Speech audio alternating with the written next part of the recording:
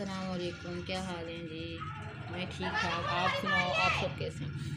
चलिए जी, आज मैंने कहा कि हम मोमोज़ बनाते हैं, काफ़ी टाइम हो गया तो हमने मोमोज़ नहीं बनाए थे तो इस वजह से पहले मैं बताती हूँ मैंने क्या क्या जो है वो बनाया अच्छा ये मिक्स वेजिटेबल्स हैं, जिसमें जो है वो प्याज हैं, और हरा प्याज है सिंपल प्याज जैसे होता है वो रेड वाला और इसके अलावा इसमें बंद गोभी है।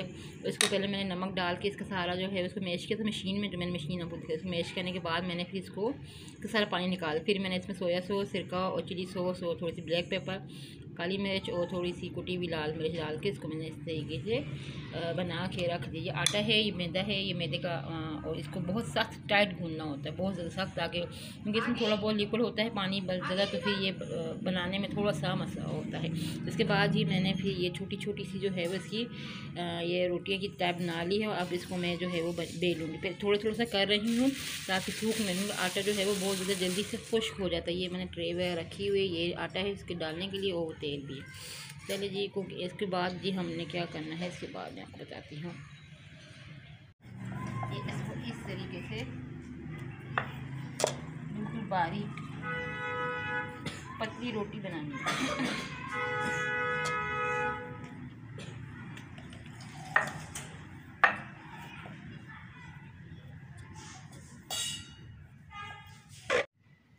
अच्छी मगल है अच्छा। चले जी, ये जी, इसने इसमें बेल दिया है और अब ये इनको, इसको ही प्रेस करेंगे। पहले वाला सही बना ही नहीं। चल, ज़ोर से करो शायद कट जाए।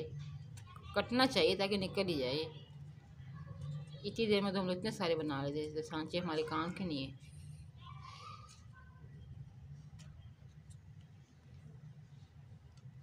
सही बना। कट गए थोड़ा थोड़ा सा कटा यहाँ से। हम्म। शेप अच्छी आ रही है ना। इसको छुरी से काट देते हैं।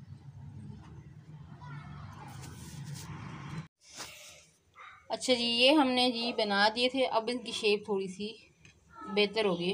काफ़ी बार प्रैक्टिस के बाद। हम्म, ये अच्छी लगी। और ये हमने कुछ पकने के लिए भी रख दिए हैं। ढक्कन डाल दूँ? गर्म तो नहीं ये जी पक गए हैं ये हमने इस शेप पे आ जाते हैं, देखें। पानी डाला, भाप रखो, दस से पंद्रह मिनट में इसको बॉयल करके रखो तो ये आराम से पक जाते हैं और बहुत मज़े के भी बनते हैं। ये वेजिटेबल है। कौन से?